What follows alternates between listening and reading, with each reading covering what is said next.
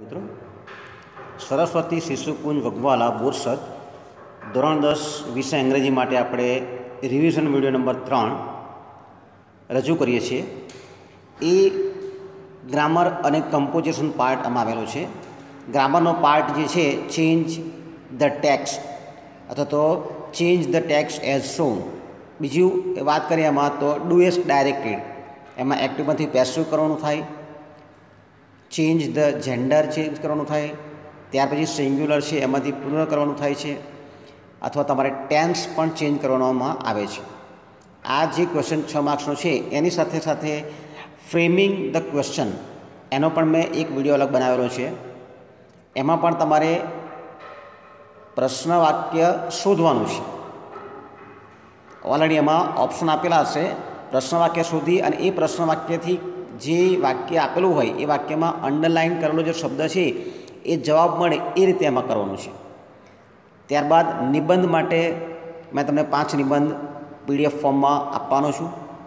Email પણ એ રીતે અને પિક્ચરની માહિતી પણ આ રીતે તમને પીડીએફ ફોર્મમાં તમને મળશે. તો આ જે વીડિયો છે, એમાં ગ્રામર ટોપિક ખાસ મહત્ત્વનો છે અને ફ્રેમિંગ ધ ક્વેશ્ચન વિદ્યાર્થી મિત્રો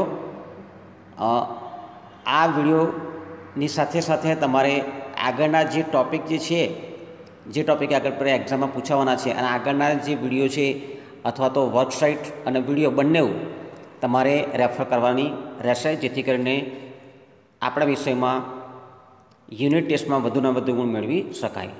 તો નમસ્કાર વિદ્યાર્થી મિત્રો. સરસ્વતી શિશુકુંજ બોરસર.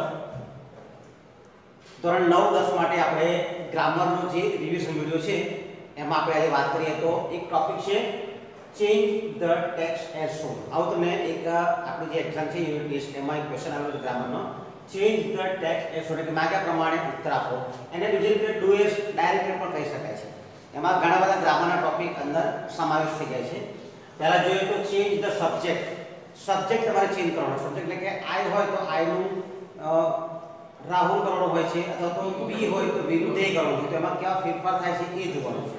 ત્યારબાદ change the form change the ફોર્મમાં સિંગ્યુલર અને પ્લુરલ એટલે કે એક વચન અને બહુવચન. એકવચન હોય તો બહુવચન કરવાનું અને બહુવચન વાક્ય હોય તો એક વચન કરવાનું છે. આ પણ આપણે નિયમ પ્રમાણે તમને સમજાવીશું. ત્યારબાદ ચેન્જ ધ ટેન્સ એટલે કાળમાં રૂપાંતર કરવાનું થાય છે. કાળમાં રૂપાંતર પણ મહત્વનું છે. સાદો વર્તમાન કાળ પેલો હોય, તમારે પેરેગ્રાફ સાદો વર્તમાન તો સાદો ભૂતકાળ તમને કરવાનું થાય છે. સાદો ભૂતકાળ હોય એ તમારે માગ્યા પ્રમાણે નીચે તમારે લખેલું હશે કે આ કાળમાં રૂપાંતર કરો અથવા તો તમને જે વાક્ય છે એ એક, બે લાઈન, એક લાઈન ચેન્જીસ કરી દેશે જેથી કરીને તમને ખબર પડે કે આ વાક્યમાં કયા ટેન્સનો ચેન્જ કરવાનો થાય છે. ત્યારબાદ ચેન્જ ધ વોઇસ એક્ટિવ અને પેસિવ વોઇસ એ ખાસ મહત્વનું છે. Change the gender okay change the gender છે એટલે કે એમાં સ્ત્રી જાતિ હોય એટલે કે એમાં તમારે જેન્ડર ચેન્જ કરવાનું છે. ઓકે બોય હોય તો ગર્લ અને મેન હોય તો વિમેન એ રીતે તમારે ચેન્જીસ કરવું છે આ બધા જ ટોપિક છે અંદર સમાવેશ થઈ જાય છે આમાં સૌથી પહેલા આપણે જોઈએ તો change the subject change the સબ્જેક્ટમાં તમારે અંદર જોઈએ તો મેં તમને એક પેરેગ્રાફ આપ્યો છે એ પેરેગ્રાફમાં તમારે સબ્જેક્ટ ચેન્જ કરવાનો છે કે અહીં આપેલો છે કે લતા છે લતાની જગ્યાએ તમારે મૂકવાનું છે આઈ ઓકે લતાની જગ્યાએ તમારે જગ્યાએ તમારે આઈ મૂકતા હોય તો કેવી રીતે ચેન્જીસ થાય એ જોઈએ પહેલા તો આખું વાક્ય જોઈએ પછી કેવી રીતે ચેન્જીસ થાય એના નિયમો પર જોઈશું પહેલા લતા ઇઝ અ પ્યુપિલ એટલે કે લતા એ વિદ્યાર્થીની છે છોકરી છે સ્ટુડન્ટ છે સી હેઝ અ બુક એની પાસે બુક છે she loves to read stories in english. અને એને અંગ્રેજીમાં સ્ટોરી વાંચવાનું ગમે છે. Does she like poems? શું એને poems ગમે છે? Yes, she does. હા, એને ગમે છે. આ જે છે, એમાં તમારે લતા છે એની જગ્યાએ તમારે આઈ મૂકવાનું થાય તો કેવા ચેન્જીસ થાય એ આપણે જોઈએ. તો આ જે શું છે, એ તમારે સબ્જેક્ટ છે. સબ્જેક્ટમાં ચેન્જ કરવા માટેના જે નિયમો છે, એ નિયમો કયા કયા છે એ આપણે હવે જોઈશું. ઓકે, હવે આ સબ્જેક્ટના જે ચેન્જીસ કરવાના નિયમો છે એ આપણે જોઈએ. અહીં આગળ મેં તમને એક બોક્સ બનાવ્યું છે. બોક્સમાં તમે કરતા લખેલું જો, કરતામાં આઈ હોય વી હોય યુ હોય હી હોય સી હોય સી હોય ઇટ હોય અથવા દે હોય. આ જ્યારે હોય તો વખતે ટુબીના રૂપો જોઈએ. ટુબીના રૂપોમાં કયા કયા ચેન્જીસ કરવાના થાય છે એ જોઈએ. હવે ટુબીના રૂપો જોઈએ તો ટુબીના રૂપોમાં તમારે ઇઝ એમ અને આ આ વર્તમાન રૂપો છે. એ તમે શીખી ગયા છે. ત્યાર પછી તમે જુઓ તો વોસ અને વર આ ભૂતકાળના રૂપો છે હવે આ રૂપો ક્યારે આવે એ ખાસ મહત્વનું છે આઈ હોય તો ટુબીના કયા રૂપો આવે આઈ જોડે શું આવે એમ આવે બરાબર છે વી હોય તો વી ની જોડે શું આવે આર આવે આ વર્તમાનના રૂપો છે યુ હોય તો એની જોડે આગળ આર આવશે સી હી હોય તો હી જોડે ઇઝ આવે સી જોડે ઇઝ આવે અને ઈટ જોડે પણ ઇઝ આવે અને અહીંયા આગળ જો તમે આર આવશે આ તમને ઓલરેડી ખ્યાલ છે આ વર્તમાન અવકર છે ભૂતકાળ અવકર જો કરો હોય તો આઈ જોડે શું આવે? આઈ wash V var you were he તો વોઝ સી તો વોઝ ઈટ તો વોઝ અને દે તો આ ટુબીના લોકો છે. કયા કરતા જોડે કયો ટુબીનું રૂપ આવે છે? એ મહત્વનું છે. આ થઈ ગયું. ત્યારબાદ જોઈએ ટુ હેવડા લોકો છે. હવે ટુ હેવડા લોકો જોઈએ તો ટુ હેવમાં જોઈએ તો હેવ અને હેઝ બે રૂપો છે ટુ હેવ એટલે બી પાસે હોવું અથવા તો આ તમારે પૂર્ણ વર્તમાન કાળમાં પણ વપરાય છે. અને આઈ જોડે શું આવે હંમેશા? આઈ હેવ આવે. વી હોય તો વી હેવ આવે. યુ હોય તો હી યુ હોય તો યુ હેવ. હવે જો હી હોય તો હી જોડે શું આવે છે? હેઝ આવે છે. સી હોય તો સી જોડે આવે છે? હેઝ. અને ઈટ જોડે હેસ આવે છે અને દે જોડે હેવ આવે છે. ખાસ તમે જો આ જે બીજો પુરુષ છે હી સી ઈટ એમાં ખાસ તમારે ધ્યાન છે. ઓકે? ત્યારબાદ જોઈએ તો ટુ હેવ અને હેવ પછી ટુ ડુ ના રૂપ આવે છે. હવે આ ટુ ના રૂપો છે, એ ખાસ તમારે વર્તમાન કાળ જે છે, સાદો વર્તમાન કાળ. સાદો વર્તમાન કાળમાં ખાસ જોવા મળે છે. આઈ હોય તો આઈ વગર શું આવે? આઈ ડુ વી હોય તો વી ડુ યુ હોય તો યુ ડુ ત્યારબાદ હી હી જોડે શું આવે છે? દસ આવે છે સી હોય તો સી જોડે આવે છે ડસ આ ખાસ ધ્યાન આપવાનું. હી, સી અને ઈ એ ખાસ જોડો ઈ જોડે પણ શું આવે છે? દસ આવે છે. અને તે જોડે આવે છે આ ખાસ ધ્યાન આપવાનું. હી જોડે દસ સી જોડે દસ અને ઈ જોડે દસ બાકીના બધા જોડે ડુ આવે છે. આ ટુ ટુ એટલે કામ કરવું. એના રૂપો છે, એનો બી પણ થાય અને આ સાદો કાળ છે એમાં વાપરી શકાય હવે અનિયમિત રૂપો જોઈએ આપણે તો. અનિયમિત રૂપો હોય છે, એ તમે જુઓ તો આ હોય, આ અનિયમિત રૂપ એટલે તમારે જે સાદો વર્તમાન કાળ છે ને, એ ખાસ મહત્વનું છે. સાદા વર્તમાન કાળમાં બે વાક્ય છે. બાકી બધામાં તમારે સેમ છે, પણ સાદા વાક્ય છે સાદો વર્તમાન કાળ છે, એની અંદર બે વાક્ય છે એટલે કે કર્તા જોડે ક્રિયાપદનું મૂળ રૂપ પણ આવે છે અને કર્તાની જોડે એસ અને ઈએસ પણ રૂપ પણ આવે છે. એ ખાસ ધ્યાન આપવાનું. હું ખાસ લખું છું પ્લે લઉં છું. મેં પ્લે પર લીધું છે ફોર એક્ઝામ્પલ પ્લે ઓકે તો આઈ હોય ને તો આઈ જોડે મૂળ રૂપ આવશે એટલે કે આગળ આવશે ખાલી પ્લે વી હોય તો વી જોડે મૂળ રૂપ આવશે ખાલી પ્લે યુ હોય તો યુ ની જોડે પણ મૂળ રૂપ આવશે પ્લે પણ હી હોય તો હી ની જોડે મૂળ રૂપ આવતું નથી એની સાથે એસ લગાવવામાં આવે છે એટલે અહીંયા આવશે તમારે પ્લેસ પછી સી જોઈએ તો સી ની જોડે પણ તમારે આવશે પ્લેસ એમાં એસ લગાવવાનું છે ઈટ જોડે પણ તમારે ખાસ મહત્વનું છે ધ્યાન રાખવાનું છે એસ લગાવવાનું છે. અને દે હોય તો દે માં આવે છે ખાલી. ખ્યાલ આવ્યો એટલે જુઓ તમારા વિદ્યાર્થી મિત્રો કે આ જગ્યાએ તમને આ આપેલો હોય, તો આઈ પ્લે અ ક્રિકેટ હોય. I play cricket sorry I play cricket હોય. આઈ ની જગ્યાએ જો હી લખવાનું હોય, તો તો કોઈ પણ નામ હોય. અહીંયા જોઈએ કે કોઈ પણ નામ છે એટલે લઈ લે, રાહુલ નામ છે, તો કોઈ પણ નામ હોય તો રાહુલ જોડે પ્લે ના આવે. શું આવે? પ્લેસ આવે. ખ્યાલ આવ્યો અહીંયા જો કે આઈ એમ અ સ્ટુડન્ટ આવું કેવું હોય તો આઈ ની જોડે ધારો કે સી લેવું હોય તો સી ઇઝ અ સ્ટુડન્ટ આવે એટલા માટે તમારે આગળ જુઓ તો ખાસ નિયમો છે આ જે સબ્જેક્ટના નિયમો છે એ ખાસ તમારે ધ્યાન આપવા જરૂર છે આ સબ્જેક્ટના નિયમ પ્રમાણે ધ્યાન આપશો તો જે આપણે ચેન્જીસ કરવાનો છે સબ્જેક્ટ ચેન્જ એ તમે ઓટોમેટિક પરફેક્ટ કરી શકશો જો અહીંયા આપણે જે સબ્જેક્ટ ચેન્જ કરવાનું છે એમાં જોઈએ તો Lata is a pupil she has a book she loves to read stories in english does she like poems yes she does અને અગર આ જે લતા છે એની જગ્યાએ મારે આઈ મૂકવાનું છે એટલે કે સબ્જેક્ટ ચેન્જ કરવાનું છે તો આ લતા છે એની જગ્યાએ મારે આઈ મૂકવાનું છે તો આમાં ચેન્જીસ આવશે બરાબર છે એન્ડ અ પ્યુપિલ્સ એટલે આ આ જગ્યાએ મારે આઈ મૂકવાનું છે તો આ જગ્યાએ ચેન્જીસ આવશે ત્યાર પછી આ જગ્યાએ મારે આઈ મૂકવાનું છે તો આ જગ્યાએ હમણાં આપણે જોયું તો ચેન્જીસ આવશે ત્યારબાદ અહીંયા આગળ મારે આઈ મૂકવાનું છે આ જગ્યાએ ચેન્જીસ આવશે અહીં જો આપણે ડુ અને ડસ ક્યારે આવે છે ત્યારબાદ જોયું તો અહીંયા આગળ આ જગ્યાએ ચેન્જીસ કરવો હોય મારે આઈ લગાવવું હોય તો આ જગ્યાએ ચેન્જીસ થશે ઓકે તો આપણે ચેન્જીસ કેવી રીતે થાય એ જોઈએ પહેલા પહેલા તો હું લખું છું આગળ આઈ એ શું શું થશે એમ આઈ એમ અ પ્યુપિલ હું વિદ્યાર્થી છું પછી સી નું આઈ કર્યું તો આઈ તો હેવ શું થશે હેવ શું થશે have I have a book ત્યારબાદ અહીંયા જે સી છે એનું આઈ કરીશું. એટલે આઈ આવશે તો અહીં જુઓ એસ છે, પણ આઈ કર્યું હોય તો એસ નીકળી જશે. એટલે I love to read stories in English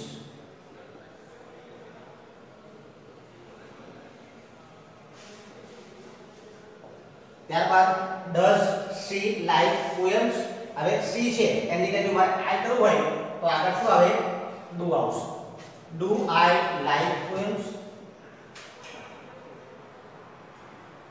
પ્રશ્નાર્થ ચિહ્ન યસ યસ સી છે એની જગ્યાએ કરીશ આઈ તો આઈ નું ડઝ આવે ના આઈ નું શું આવે ડુ આવશે આ જો તમારે એક્ઝામમાં પૂછવામાં આવે કોઈ પણ પૂછવામાં આઈ લખેલું હોય આઈ માં પીપીએલ તો આની જગ્યાએ લતા કરવાનો હોય તો પણ ચેન્જીસ થઈ શકે એટલે સબ્જેક્ટ તમારે જે ચેન્જ કરવાનો છે ચેન્જ ધ સબ્જેક્ટ એમાં તમારે જે તમે બોક્સ બતાવ્યું એમાં જે પણ નિયમો છે એ નિયમો તમે પરફેક્ટ કરો તો તમે આ જે ક્વેશ્ચન છે એ પરફેક્ટ રીતે અટેન્ડ કરી શકશો તો વિદ્યાર્થી મિત્રો change the text do as direct માટે બીજો જે પોઈન્ટ છે જોઈએ ચેન્જ ધ પ્લુરલ એટલે કે તમારે આમાં જે સિંગ્યુલર અને પ્લુરલ છે ઓકે એવું પણ બની શકે કે તમને ફકરો આપેલો હોય સિંગ્યુલરમાં અને તમારે પ્લુરલ કરવાનું છે એટલે કે બહુવચન કરવાનું છે અથવા તો પ્લુરલમાં ફકરો આપ્યો હોય અને તમારે સિંગ્યુલર એક વચન કરવાનું છે અહીંયા આપણે એક પેરેગ્રાફ જોઈએ This boy is a cricketer. He practices every day. This boy has always played well. He has won many prizes. જો આ એટલે તમારે જોઈએ તો કઈ જગ્યાએ આ this boy છે એ એક વચન છે boy કરે છે ઓકે તમારે આ જગ્યાએ ચેન્જ કરવું થશે ત્યારબાદ અહીં જો ક્રિકેટર છે એ જગ્યાએ ચેન્જ કરવાનું થાય આ હી ક્યારે વપરાય છે એક છોકરો હોય ત્યારે ત્યાર પછી જોઈએ તો this boy આ જગ્યાએ તમારે ચેન્જ કરવાનું થશે ત્યાર પછી તમારે હી આ જગ્યાએ હવે જ્યારે આ જગ્યાએ જ્યારે ચેન્જ કરે તે વખતે ખાસ વાત ધ્યાન રાખવાનું કાર્ડ હમણાં આપણે જોયું પહેલા કે ટુના રૂપો જોયા ત્યાર પછી ટુ હેરના રૂપો જોયા અને ટુ ટુના રૂપો જોયા હવે આપણે ચેન્જ કરવાનું છે એટલે આગળ જોઈએ તો આ ઇઝ છે ઇઝ ની જગ્યાએ શું આવશે એટલે આપણે ચેન્જ કરીશું તે વખત ખ્યાલ આવશે ત્યાર પછી આગળ જોઈએ તો આ અનિયમિત રૂપો છે આ અનિયમિત રૂપો છે એમાં પણ તમારે જોવાનું કે અનિયમિત રૂપોમાં હી હોય તો એસ આવે છે અથવા ઈએસ આવે છે પણ હી ના હોય બહુવચન હોય તો આ આવતું નથી ત્યાં જોઈએ તો આગળ હેઝ હેઝ ના લોકો જોઈએ આપણે ઓકે એ પણ ધ્યાન રાખવાનું છે હેઝ ઓલવેઝ પ્લેડ અહીંયા જો હેઝ વન આટલું તમારે ધ્યાન રાખ્યા પછી તમારે બીજું મહત્વનું છે કે એક વચન માંથી બહુવચન ના નિયમો છે એ નિયમો તમારે જોવા પડે ઓકે આ તો તમારે ધ્યાન રાખવાનું છે પણ સાથે સાથે એક વચનમાંથી બહુવચનના નિયમો કયા કયા છે એ આપણે જોઈએ ઓકે તો એ આપણે નિયમો છે એ નિયમો જોઈએ આપણે એક વચનમાંથી બહુવચનમાં તો આપણે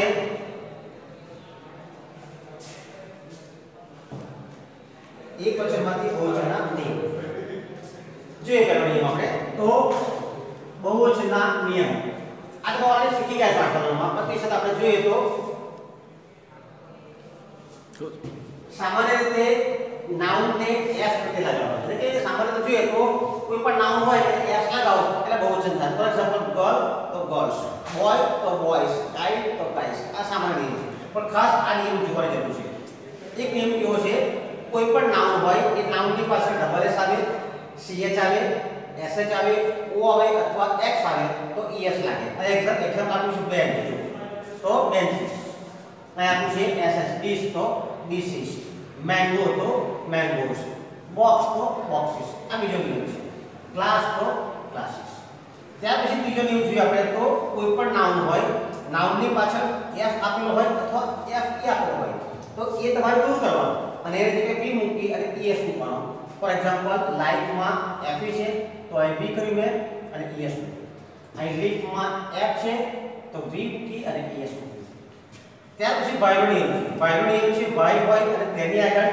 વ્યંજન હોય આ પછી તમારે આવે સ્વર અને વ્યંજન સ્વર પાંચ છે બાકી બધા વ્યંજન છે વાયને આગળ વ્યંજન હોય તો વાયનો આઈ કરી ઈએસ મૂકવાના છે અને આગળ સ્ટોરી જો વાય છે વાયને આગળ છે વ્યંજન છે તો વાય કાઢ નાખવાનો અને આઈ મૂકી અને ઈએસ મૂકી અને આગળ સિટીમાં જોઈએ તો છેલ્લે વાય છે વાયને આગળ વ્યંજન છે તો સિટી મૂક્યું ત્યારબાદ તમે જોયું કે અનિયમિત રૂપો ઘણા છે ઓકે અમુકમાં નિયમ લાગુ પડતો નથી એ અનિયમિત રૂપો છે ફોર એક્ઝામ્પલ મેન એટલે કે એક જ માણસ હતો મેન અને વધારે હતો મેન એમ પી એન આ સ્પેલિંગ છે તમારે ચેન્જ થાય છે વુમેન તો એક છે તો જગ્યાએ વિમેન એટલે જો ઈ આવે છે એક વચન માટે અને આ બહુવચન માટે ફૂટ એક હોય તો અને વધારે હોય તો ફીટ ચાઇલ્ડ એક જ હોય તો ચાઇલ્ડ અને વધારે હોય તો ચિલ્ડ્રન આ બહુવચન ફીટ આ નિયમો છે બીજાને તમારે મોડે કરવા ઓકે હવે આપણે જોઈએ તો આનો જે જવાબ છે હવે નિયમો જોયા કાળના નિયમો જોયા ત્યાર પછી આપણે આના જવાબ કેવી રીતે ફાઇન્ડ આઉટ કરે જોઈએ જો આ જે પેરેગ્રાફ છે this boy is a cricketer he practices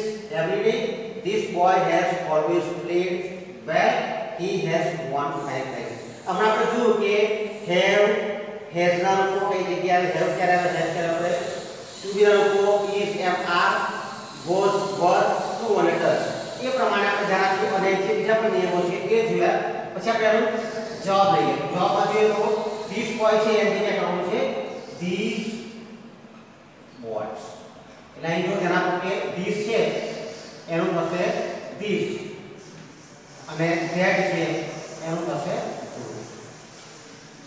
એટલે કે ધીસ બોયસ અને જો બોય છે એટલે ધીસનું શું થશે આગળ આ 30 બોયસ આર આર હોય તો આ જગ્યાએ બહુવચન આવે તો આ તમારે નીકળી જાય અને આગળ લાગી જાય એસ 30 બોયસ આર ક્રિકેટર્સ ત્યારે જો આ હી છે હી તો એક જ છોકરો છે પણ વધારે છોકરા હોય તો હી નું થશે આગળ ધે હવે જુઓ તો હી જોડે એસ લાગે છે પણ ધે જોડે એસ લાગતો નથી આ અનિયમિત રૂપો છે એટલે they practise they practise every day ત્યાર પછી this અહીંયા આગળ જોયું પ્રમાણે this છે પહેલો this શું થશે this તો અહીં boy છે તો થશે boys કારણ કે આપણે શું કરવું છે આગળ પ્લુરલ કરવાનું છે this boys have છે અહીંયા આગળ has છે આ એક વચન હોય તો has આવે અહીંયા આગળ વધારે હોય તો have આવે these boys have always played well ત્યાર પછી he છે અહીંયા આગળ જોયું આપણે આ he નું શું કરવું they અહીં પણ આપણે they કરીશું એટલે અહીંયા આગળ કરીશું આપણે they અહીંયા આગળ has છે he જોડે has આવે પણ they જોડે has આવતું નથી they જોડે શું આવે છે have they have won many prizes અહીં ઓલરેડી તમારે બહુવચન આગળ આપેલું છે તમારે કંઈ સુધાર કરવાની નથી ખ્યાલ આવ્યો ફરીથી જુઓ આ જગ્યાએ ચેન્જ કર્યું એની જગ્યાએ તમારે ચેન્જ કરવો પડશે ત્યાર પછી અહીં બહુવચન કરવાનું છે આ જગ્યાએ ચેન્જ કર્યું એટલે આ જગ્યા પર ચેન્જ કરવાનું થશે ત્યાર પછી અહીં આગળ આ જગ્યાએ ચેન્જ કર્યું એટલે આ જગ્યા ઓટોમેટિક ચેન્જ થશે ત્યાર પછી આ જગ્યાએ he છે એ જગ્યાએ ચેન્જ કર્યું એટલે ઓટોમેટિક ચેન્જ થશે એટલે તમારે એક વચનમાંથી બહુવચનમાં જ્યારે ફેરવવાનો હોય તે વખતે તમારે જે નાઉન છે એ નાઉનને તો ઓલરેડી તમારે ચેન્જ કરવાનો છે એક વચન બહુવચન કરવાનું પણ સાથે સાથે એની જોડે જે ક્રિયાપદ વપરાતા હોય is am are હોય was were હોય do કે does હોય અથવા તો અનિયમિત રૂપો હોય એમાં પણ તમારે ચેન્જીસ કરવા પડશે જો વિદ્યાર્થી મિત્રો change the text do as કાર્યની ની અંદર જોઈએ તો change the voice okay voice change કરવાનું એટલે કે એક્ટિવ વોઇસ અને પેસિવ વોઇસ એ પણ તમારે ચેન્જ કરવાનું થાય છે એક્ટિવમાંથી પેસિવ કરવાનું તમારે થાય છે તો એક્ટિવ વોઇસ કોને કહેવાય અને પેસિવ વોઇસ કોને કહેવાય એ તમને ઓલરેડી ખબર છે એક્ટિવ વોઇસ એટલે એવું વાક્ય રચના અથવા એવી વાક્ય રચના કે જેની અંદર કર્તા મહત્વનો હોય પ્રથમ કરતા હોય ત્યાર પછી ક્રિયા પદ અને પેસિવ વાક્ય રચના એટલે કે એવી વાક્ય રચના કે જેની અંદર કર્તા છે મહત્વનો હોતો નથી, કર્તા લાસ્ટમાં હોય છે. તો કર્તાની જગ્યા શું હોય? તો કર્તાની જગ્યાએ તમારે ઓબ્જેક્ટ હોય છે. અને વાક્ય જોઈએ ત્યારે તમને આ વખતે જે એક્ઝામ છે એક્ઝામમાં તમને સેન્ટેન્સ આપવામાં નહીં આવે પણ પેરેગ્રાફ આપવામાં આવશે પેરેગ્રાફ પર સેન્ટેન્સ હશે ઓકે? એ તમને એક કાંડા પર હોય શકે અલગ અલગ કાંડા પર હોય શકે. અને આગળ જોઈએ તો the teacher the students okay એટલે વિદ્યાર્થી બોલાવે છે કોને સ્ટુડન્ટ્સ સોરી ટીચર બોલાવે છે કોને students the teacher call the students he gave them work અને એ એમને કામ આપે છે ત્યાર પછી ત્રીજું વાક્ય લીધું છે આપણે who broke my new toy car આ પ્રશ્ન વાક્ય છે આ રીતે તમને કન્ટિન્યુ સેન્ટેન્સ આપવામાં આવશે એટલે કે પેરેગ્રાફ આપવામાં આવશે અત્યાર સુધી શું બતાવતા કે નંબર 1 2 3 આપતા તમને નંબર આપવામાં આવશે નહીં આ રીતે તમે પેરેગ્રાફમાં ત્રણ વાક્યો હશે, ચાર વાક્યો હશે, બધું બધું બધું ત્રણ, ચાર વાક્યો હોય. એના તમારે ત્રણ માર્ક્સ છે. He the teacher called the students he gave them work who broke my new toy car આનો આપણે એક્ટિવમાંથી પેસિવ બનાવવું હોય, તો પહેલા આપણે નિયમો છે નિયમો જોવો પડે ઓકે એક્ટિવ એક્ટિવમાંથી પેસિવ બનાવવા માટે જોઈએ તો એક્ટિવ એટલે કે જેમાં કરતા મહત્વ હોય એ અને પેસિવ એટલે કે જેમાં કર્મ મહત્વ હોય. હવે જોઈએ કયા નિયમો આપણે બને છે. પ્રમાણે ઓકે તો નિયમોમાં જોઈએ તો સૌથી પહેલા પહેલા આપણે જોઈએ તો જો પહેલા પહેલા તો આપણે એક્ટિવમાંથી પેસિવ એક્ટિવ વોઇસ હોય અને એમાંથી પેસિવ વોઇસ તમારે ચેન્જ કરવો હોય ને તો કોઈ પણ વાક્ય હોય તો એનો કાળ ઓળખવો મહત્વ છે તમારે પહેલા પહેલા તો કાળ ઓળખી લેવાનો કાળ ઓળખી લીધા પછી તમારે ઓબ્જેક્ટ શોધવાનું છે ઓકે હવે ઓબ્જેક્ટ શોધવું હોય તમારે તો પહેલામાં એક વસ્તુ લાગે ઓબ્જેક્ટ શોધવું હોય ને તો જે પણ વર્બ હોય ઓકે ઓબ્જેક્ટ શોધવા માટે જે પણ વર્બ છે એટલે કે વર્બના થાય છે ક્રિયા ક્રિયા કે કયા નંબરમાં હોય સેકન્ડ નંબરમાં હોય તમે ધ્યાન રાખો પહેલા પહેલા તો કરતા હોય પછી ક્રિયા કરતા હોય આ વર્બ છે એને તમારે પ્રશ્ન પૂછવાનો છે ઓકે તમે એને ક્વેશ્ચન પૂછો વોટ થી પ્રશ્ન પૂછો અથવા તો whom થી પ્રશ્ન પૂછો કોણ અને કોને તો જે જવાબ મળે ને વિદ્યાર્થી મિત્રો એ જવાબ તમારો થઈ જશે ઓબ્જેક્ટ ઓકે એટલે પહેલા પહેલા તો કાર્ડને ઓળખી લીધું તમે યસ ફાઇન સરસ કાર્ડને ઓળખ્યા પછી ઓબ્જેક્ટ શોધવાનો છે હવે ઓબ્જેક્ટ શોધ્યા પછી તમારે શું કરવાનું છે વાક્ય રચના તમને ખબર પડી છે વાક્ય રચના જોઈએ તો વાક્ય રચનામાં સૌથી પહેલા પહેલા તો ઓબ્જેક્ટ લખવાનું છે ઓબ્જેક્ટ લખ્યા પછી ટુ બી ના રૂપો એ અહીં રાખે છે એટલે કે ટુ બી ના રૂપો અહીં લખવાનું છે ટુ બી ના રૂપો પછી તમારે એક મહત્વનું અહીં જે છે V3 એ તમે સમજાવો છો ત્યાર પછી આપણે જોઈએ તો V3 એટલે આને કહીશું કે પાસ પાર્ટી એટલે કે ભૂતકૃદન એટલે કે ક્રિયાપદ હોય, ક્રિયાપદનું ભૂતકૃદન એ તમારે મહત્વનું હોય છે. ત્યાર પછી તમારે V3 લખ્યા પછી તમારે મૂકવાનું છે.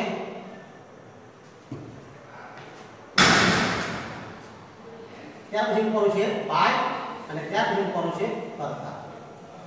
આ રીતે તમારે વાક્ય રચના અને પુસ્તક, જો સાદું વાક્ય હોય તો અને પ્રશ્ન વાક્ય હોય તો પ્રશ્નાર્થ ચિહ્ન ઓબ્જેક્ટ મૂકવાનો, ત્યાર પછી ટુ બી રૂપ મૂકવાના જે આવતું હોય એ કાળ પ્રમાણે હોય છે.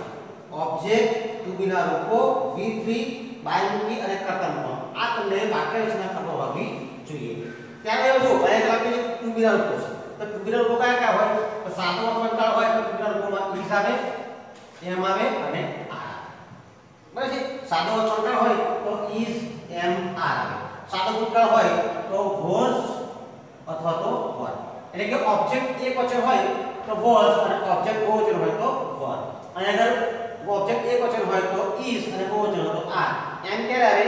આય હોય તો જ. અને સાદો ભવિષ્યકાળમાં તમારે બી મૂકવાનું એટલે કે બી રાખવું હોય અથવા શે રાખવું હોય, એને જોડે તમારે શું કરવાનું છે? વિલ બી અને ત્યારબાદ તમારે ક્રિયાપદનું ત્રીજું. પાસ્ટ પાર્ટિસિપલ મૂકવાનું છે બાય મૂકવાનું અને કર્તા મૂકવાનું. હવે કર્તા જો કર્તામાં પણ તમારે ચેન્જીસ લગાવવાનો છે. એક ચેન્જ તમારે કરવાનો સુધારો કરવાનો છે. જો કર્તા આયા આપેલો હોય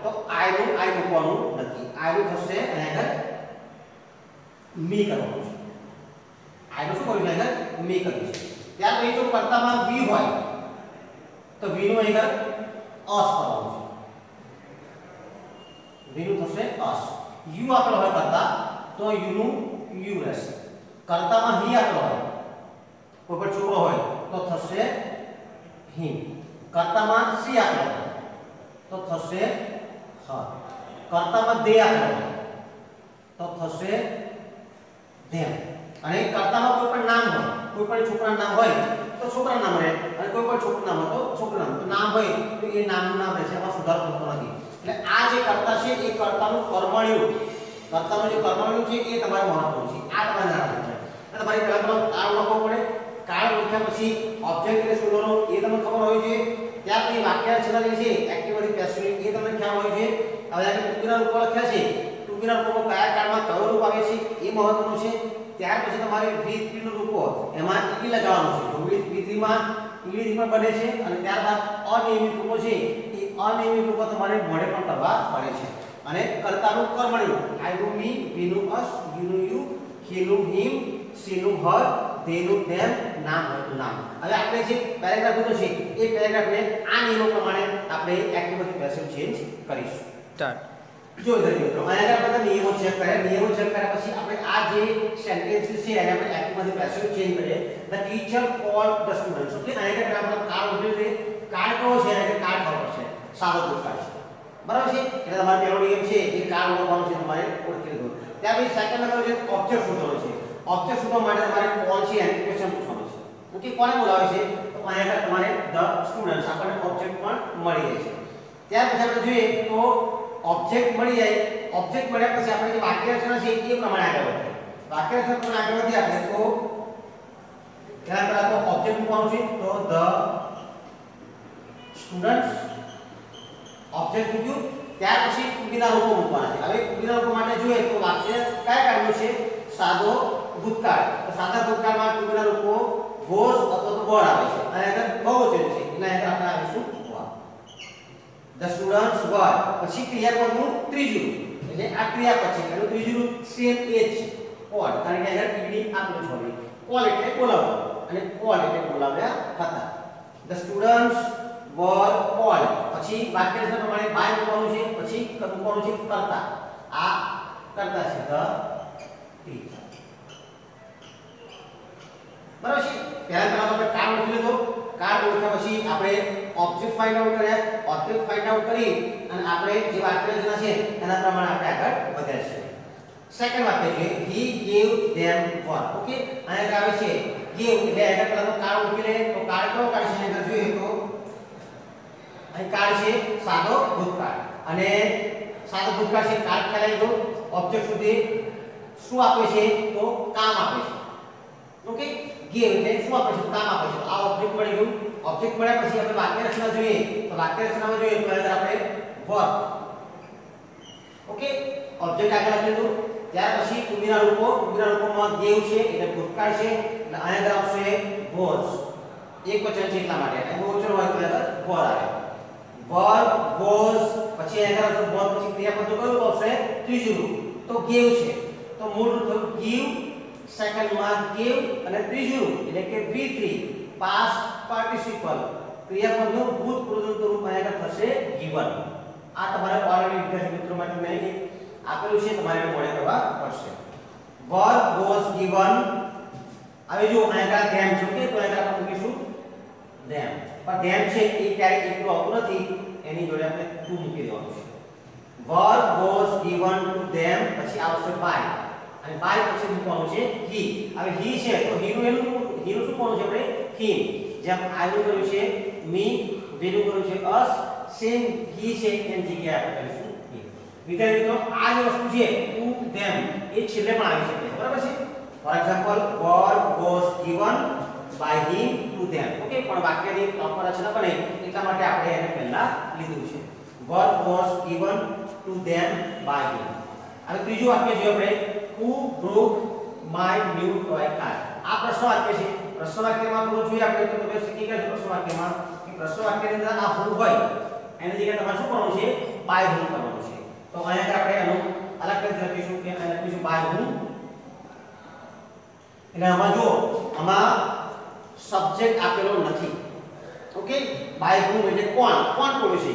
વ્યક્તિ રીતે આપે બ્રોક એટલે તોડે છે. એટલે આ શું છે? ક્રિયાપદ છે ક્રિયાપદ પ્રશ્ન પૂછીએ તો શું મળે ઓબ્જેક્ટ ઓબ્જેક્ટ ક્યાં છે માય ન્યુ ટોય કાર એ આખો ધારી નવી રમત એટલે સોરી મારી નવી કાર ટોય કાર ઓકે એટલે કે માય ન્યુ ટોય કાર એટલે એ ઓબ્જેક્ટ છે એટલે બાય હું મૂકી અને તમારે અહીંયા આગળ મૂકવાનું છે ઓબ્જેક્ટ માય ન્યુ ટોય અને કાર પછી ટૂંકીના લોકો મૂકવાના છે પણ અહીંયા ટૂંકીના લોકો છે એ પ્રશ્ન વાક્ય હોવાથી ઓબ્જેક્ટની પાછળ આવતા નથી એ ઓબ્જેક્ટની આગળ આવે છે ઓબ્જેક્ટનું છે એક જ છે અને કયો કાળ છે ભૂતકાળ છે ઓકે એટલે અહીંયા આગળ આવશે was by whom was my new toy car પછી ક્રિયાપદનું ત્રીજું broke કોણ થશે અને છેલ્લે પ્રશ્ન ચિહ્ન હું આવી ગયું હું શું થઈ ગયું એટલે બાય હોમ મૂક્યું પાછળ બાય હોમ મૂકવાનું હતું કારણ કે સબ્જેક્ટ છે નહીં બાય હોમ મૂક્યું પછી આ શું મૂક્યું છે મેં ઓબ્જેક્ટ મૂક્યું છે ઓબ્જેક્ટ પછી શું આવ્યું ઓલરેડી ટૂંકીના રૂપ આવે પણ ટૂંકીના રૂપો કેમ આગળ આવે છે કારણ કે પ્રશ્ન વાક્ય છે એટલા માટે આગળ મૂક્યું અને ટૂંકીના રૂપો પછી શું આવે છે તમારે ક્રિયાપદનું V3 ઓકે આ રીતે તમારે જે પણ કાળ હોય અને કે સાદો ભૂતકાળ જોયો અને કે ધારો કે સાદો વર્તમાન કાળ હોય the teacher the teacher calls હોય તો આ જગ્યાએ તમારે આ જગ્યાએ શું હોય તમારે આર આવશે બરાબર છે the teacher calls the students આવું તમારે સાદો વર્તમાન વાક્ય હોય તો તો ધ સ્ટુડન્ટ્સ વાક્ય કોણ પાડે છે સાદો વર્તમાન કાળ એટલે અહીંયા આવશે આર કારણ કે બહુવચન છે અહીંયા કઈ વચન હોય તો અહીંયા ઈઝ આવે the students are called by the teacher બીજા રૂપો તમારે ચેન્જ કરવાના ફોર એક્ઝામ્પલ અહીંયા સાદો ભવિષ્યકાળ છે અહીંયા ધ ટીચર વિલ કોલ લખ્યું છે ઓકે તો સેમ છે કશું કરવાનું નથી સ્ટુડન્ટ્સ આ જગ્યા શું કરવું છે આ જગ્યા મૂકવાનું છે will બી સિમ્પલ બરાબર છે the students will be called by the teacher એટલે જેવી તમારે ટેમ છે એ પ્રમાણે તમારે ટુગેધરનો વાપરવા પડે છે. વિદ્યાર્થી મિત્રો આની તમારે કામ લખવાનું થશે. ત્યાર પછી ઓબ્જેક્ટ ફાઇન્ડ આઉટ કેવી રીતે કરવું. ત્યાર પછી વાક્ય છે ને આની ખાસ મહત્વની છે. ત્યાર પછી ટુગેધરનો કયો કાળ હતો? કયો ટુગેધરનો આપણે તે અને કર્તાનું કર્મણીનું એ ખાસ મહત્વનું તમારા માટે જોવાનું છે. વિદ્યાર્થી મિત્રો ચેન્જ ધ જેન્ડર આ એક ક્વેશ્ચન છે ઓકે એ તમારે 12 ડાયરેક્ટેડ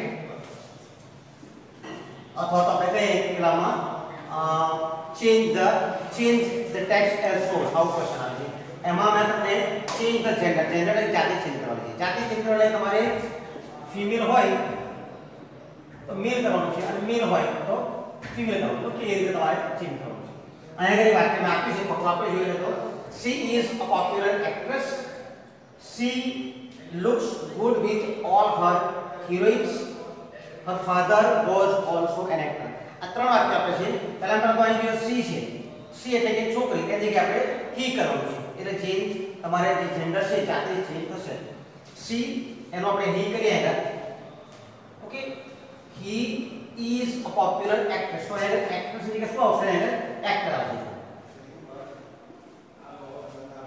પછી ફરીથી સી સી નો આપણે કર્યું આગળ હી કર્યું he looks good with all her her ની જગ્યાએ અહીં થશે his કારણ કે આગળ he છે તો his આવશે હીરો છે તો હીરો ની જગ્યાએ થશે આપણે heroines ત્યાર પછી her father છે her father ની જગ્યાએ લખીશું આપણે કે his father ની જગ્યાએ લખીશું આપણે was also an actor actor છે એની જગ્યાએ આપણે લખીશું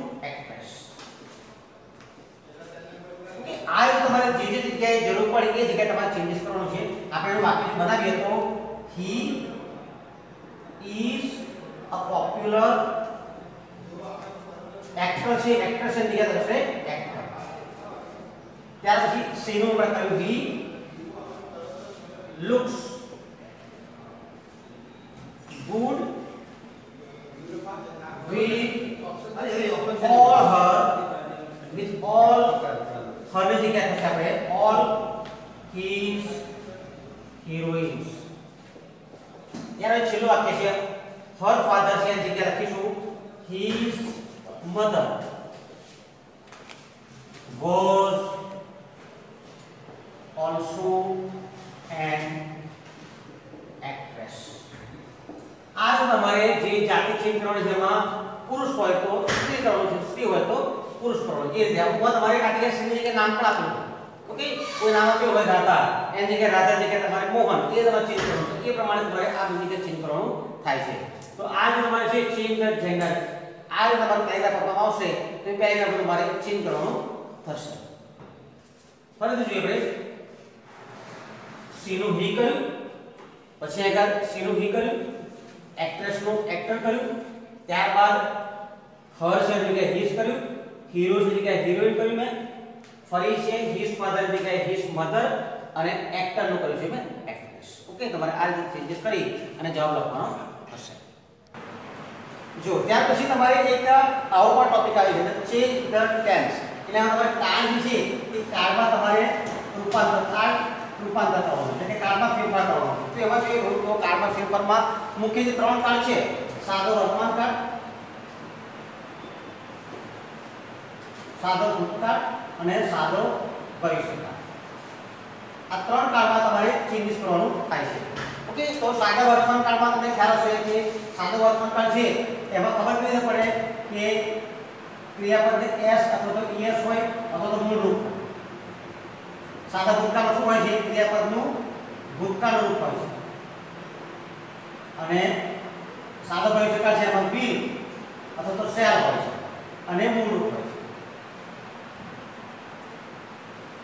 સાદા વર્તમાન કાળમાં વાક્યના ચાર બરાબર હોય તમારે તો do not અને does not સાદા ભૂતકાળમાં વાક્યના બનાવવું હોય તમારે તો તમારે ડીડ નોટ અને સાદા ભવિષ્યકાળમાં વિલ નોટ અથવા તો શેલ નોટ અને કે મેં તમને એક પેરેગ્રાફ આપ્યો છે એ જોઈએ આપણે તો Rita wants to be a teacher she has a good command over languages she also teaches maths and helps others okay અહીંયા આગળ તમારે જે છે કાર ચેન્જ કરવાનો થાય તમને આપેલો છે કયો કાર કોણ ચેન્જ કરવાનો ચેન્જ into સિમ્પલ પાસ્ટ આવું ના આપ્યું ઉપર છે સાદો સિમ્પલ પહેલો સાદો ભૂતકાળ તો આ જગ્યાએ આપણે ક્રિયાપદ છે ક્રિયાપદમાં ફેરફાર થશે ઓકે એટલે વોન્ટ છે એની જગ્યાએ તમારે લખવું છે આગળ વોન્ટેડ કારણ કે આ વર્તમાન છે અને ભૂતકાળમાં થશે ક્રિયાપદનું ભૂતકાળનું Rita wanted to be teacher ફરી સી અને આગળ હેઝ છે એની જગ્યાએ તમારે કરવું પડશે હેડ એટલે હતું she had good command over other over languages she also teaches છે આ ટીચિસ માં ઈએસ છે ઈએસ એટલે કે સાદો વર્તમાનકાળ સાદો ભૂતકાળ કરવો હોય તમારે તો ટીચ નું થશે તમારે ક્રિયાપદનું ભૂતકાળનું ટોટ મેથ્સ એન્ડ હેલ્પ આ હેલ્પ છે એમાં પણ તમારે ઈડી મૂકી અને ક્રિયાપદનું ભૂતકાળનું પણ બનાવવું પડશે સી હેલ્પ અધર્સ ઓકે આ રીતે તમારે ચેન્જીસ કરવા પડે આપણે જવાબ જોઈએ તમારે તો Rita wanted to be a teacher પેલું વાક્ય થઈ ગયું યસ ફાઇન પછી સી લખવાનું છે અને કાગળ ફેરફાર કરવાનો છે એટલે હેઝ છે હેઝ નું થશે had she had a good command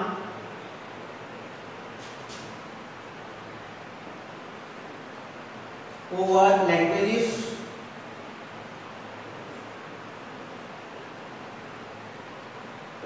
ત્યાર પછી જોઈએ તો સી ઓલસો ટીચીસ સી લખવાનું છે ઓલસો ટીચીસ છે એની જગ્યાએ ભૂતકાળનું લખવાનું છે એટલે કે she also taught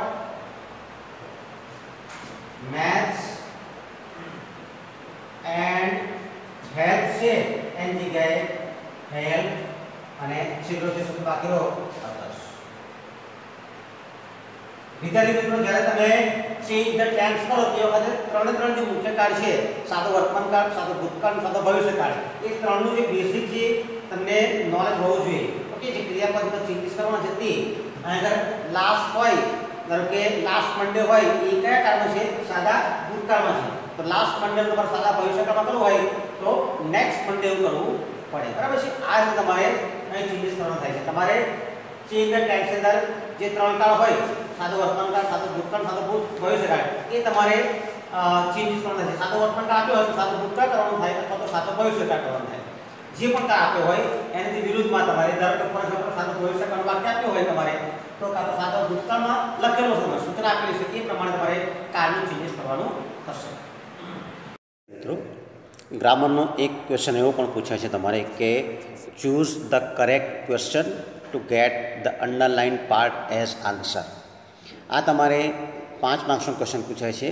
એમાં તમારે એક વાક્ય આપેલું હશે અને વાક્યના અંદર કોઈ પણ એક શબ્દની નીચે અંડરલાઇન કરી હશે. અને એ અંડરલાઇન કરેલો જે શબ્દ છે, એ શોધવા માટે કયો ક્વેશ્ચન સાચો છે એ તમારે લખવાનું થશે. તો એના માટે આ જે પોઈન્ટ છે એને આપણે ફ્રેમિંગ ક્વેશ્ચન પણ કહી શકીએ છીએ. એમાં હુથી ક્વેશ્ચન બને છે વોટથી ક્વેશ્ચન બને છે તમારે ચાર ઓપ્શન આપેલા હશે એ ચાર ઓપ્શનમાંથી તમારે સાચો ઓપ્શન પસંદ કરવાનો રહેશે okay choose the correct question to get the underline part as answer એમાં હું જોઈએ તો વ્યક્તિની માહિતી માટે એક ક્વેશ્ચન બને છે નામ હોય અથવા સર્વનામની નીચે લીટી દોરેલી હોય તો સમજવું કે પ્રશ્ન વાક્ય હુથી બનશે ત્યારબાદ વોટ જોઈએ તો વોટ કરતાં શું કામ કરે છે તે જાણવા માટે વોટ વપરાય છે કોઈ વસ્તુ નામની નીચે લીટી દોરેલી હોય ત્યારે ફોર એક્ઝામ્પલ કે રાધા સિંગ્સ અ સોંગ તો અ સોંગ છે એની નીચે અંડરલાઈન કરેલી હોય તો સમજવું કે વાક્ય વોટથી પ્રશ્ન વાક્ય વોટથી બનશે ત્યારબાદ વેન જોઈએ તો વેન તમારે સમય જાણવા માટે ચોક્કસ સમય દર્શાવતા શબ્દની નીચે જો લીટી દોરેલી હોય તો સમજવાનું કે પ્રશ્ન વાક્ય વેનથી બનશે વેર જોઈએ તો જગ્યા અથવા સ્થળની માહિતી મેળવવા માટે વાક્યમાં સ્થળની નીચે લીટી દોરેલી હોય તો એવું સમજવાનું કે આ પ્રશ્ન વાક્ય છે એ વેરથી બનશે. ત્યારબાદ વાય છે, એ જોઈએ તો વાય એટલે કારણ અથવા તો રીઝન જાણવા માટે. શું કારણ છે? ઓકે, આ કારણ જાણવા માટે વાયથી પ્રશ્ન બને છે. તો વાક્ય હોય તો વાક્યમાં બીકોઝ શબ્દ આવે. બીકોઝ શબ્દ આવે બીકોઝ પછી આખું વાક્ય હોય, એની નીચે અંડરલાઇન કરેલી હોય અને સાથે સાથે ટુ વાળું ક્રિયાપદ હોય. Okay I went to meet my friend I went to Baroda to meet my friend આવું વાક્ય હોય તો ટુ મીટ માય ફ્રેન્ડ આવું વાક્ય હોય તો એની નીચે જો અંડરલાઇન કરેલું હોય ટુ અને પછી ક્રિયાપદ, તો સમજવાનું થાય કે આ પ્રશ્ન વાક્ય વાયથી બને છે. ત્યાર પછી આપણે આગળ જોઈએ. હાઉ મેની આવે છે? હાઉ મેની એટલે કેટલા? ઓકે ગણી શકાય તેવી વસ્તુ હોય. તો એ વસ્તુની જાણ મેળવવા માટે આપણે હાવ મેનીથી ક્વેશ્ચન બની શકાય છે. આમાં વિદ્યાર્થી મિત્રો ગણી શકાય તેવા નામ નીચે લીટી દોરેલી હોય તો હાવ મેનીથી પ્રશ્ન બને. ફોર એક્ઝામ્પલ કે how there are three tables in my house તો હાઉ મેની ટેબલ્સ તો three there are how many pens are there in your bag તો there are four pens okay એટલે તમારે જે વસ્તુ ગણી શકાય એની નીચે અંડરલાઇન કરેલી હોય તમારે તો હાવ મેનીથી બને આ હાવ મેની જ્યારે બને છે તે વખતે એની સાથે વસ્તુનું નામ હંમેશા આવે છે હાવ મેની છે ક્યારેય એકલું મૂકવામાં આવતું નથી હાવ મેની જોડે ટેબલ્સ પેન્સ કોઈ પણ વસ્તુ જે પણ વસ્તુની માહિતી મેળવવાની હોય એ વસ્તુ અહીં આગળ મૂકવામાં આવે છે એટલે કે હાવ મેની ક્વેશ્ચન હંમેશા બનાવો તે વખતે હાવ મેનીમાં સાથે નામ ચોક્કસ મૂકવાનું થાય છે ત્યારબાદ જોઈએ તો હાવ મચ હાવ મચ એટલે ગણી ન શકાય તેવા નામની જાણકારી મેળવવા માટે હાઉ મચ વપરાય છે. ગણી ન શકાય. For example tea water wheat coffee petrol આ જે વસ્તુ હોય છે જે ગણી શકાતી નથી, એની માહિતી મેળવવી હોય તો હાવ મચ વપરાય છે. ઓકે હવે આમાં પણ એવું છે કે હાવ મચ છે એ પણ ક્યારેય એકલું આવતું નથી. ઓકે વાક્યમાં પેટ્રોલની નીચે લખી દીધેલું હોય અથવા તો વોટર હોય અથવા તો વીટ હોય અથવા તો ટી હોય, તો આની નીચે લીટી દોરેલી હોય તો સમજવાનું કે આ પ્રશ્ન વાક્ય શાંતિ બને છે હાવ મચથી બને. ફોર એક્ઝામ્પલ કે there is some tea in the in the cup તો જે સમ છે, એની ચેનલ કર્યું તો હાઉ મચ ટી ઓકે એટલે કેટલી ટી છે, એ માટે. ત્યારબાદ જોઈએ તો હાઉ લોંગ હાઉ લોંગ એટલે કે સમયગાળો દર્શાવે છે. ફોર એક્ઝામ્પલ કે how long is the recess okay the recess is for ten minutes પછી ફિલ્મ કેટલી લાંબી છે એ માટે પણ વપરાય છે ત્યારબાદ જોઈએ તો હાઉ ફાર કેટલું દૂર okay how far is your house from the school okay તો my house my school is five kilometres away from my house એટલે કે અંતર જાણવા માટે ત્યારબાદ હાઉ ઓફન એટલે કેટલી વાર ફ્રીક્વન્સી દર્શાવે છે okay always sometimes daily twice વગેરે શબ્દોની નીચે લીટી દોરેલી હોય તો સમજવાનું કે વાક્યની શરૂઆત અથવા પ્રશ્ન વાક્ય હાવ ઓફનથી બને છે.